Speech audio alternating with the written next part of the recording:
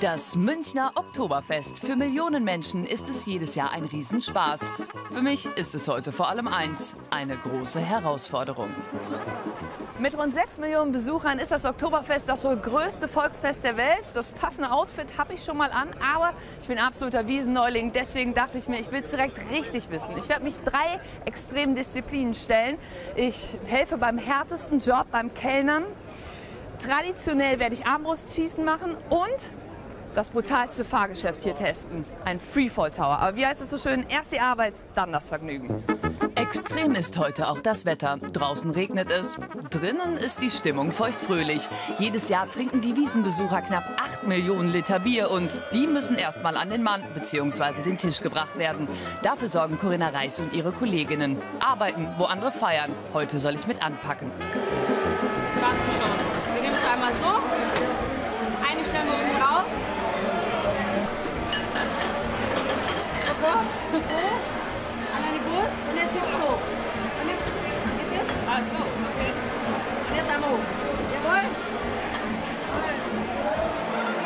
Ob von mir heute Bier bei den Gästen ankommt, wage ich derzeit zu bezweifeln.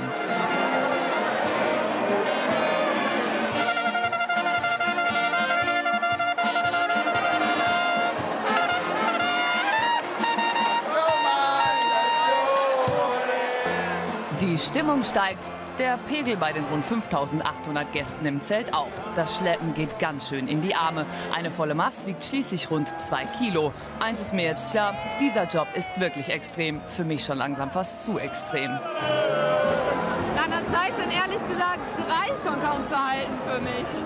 Ja, aber du machst es gut.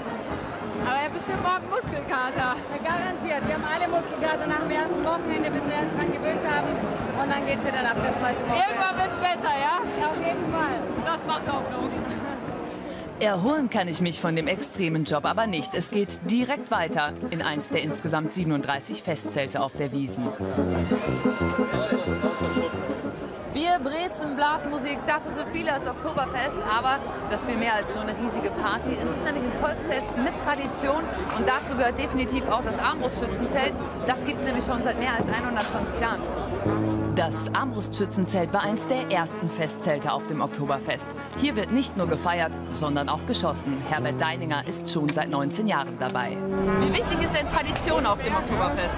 Für uns eigentlich sehr wichtig, weil wir feiern ja hier die Hochzeit der Maria Theresia und die Schützenvereine haben damals schon die Bierzelte betrieben und wir betreiben es heute noch.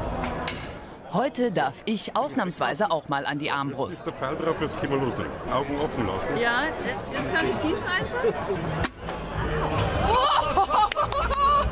Voll ins Schwarze. Ah, Anfängerglück, ich sollte mich lieber nicht zu früh freuen. Naja, bei mir geht noch nicht wirklich jeder Schuss ins Schwarze, aber ganz zielsicher steuere ich jetzt meinen nächsten Stop an. Und da geht's richtig rund. Auf zu den Fahrgeschäften. Ich will hier heute hoch hinaus. Das ist ziemlich hoch und um ehrlich zu sein, ich habe ein bisschen Höhenangst, aber der Ausblick soll unglaublich sein. Mit 80 Metern ist der Skyfall nicht nur mein persönlicher Albtraum, sondern auch der höchste mobile Freifallturm der Welt. Ich bin wirklich nervös. Ich habe richtig Muffesausen.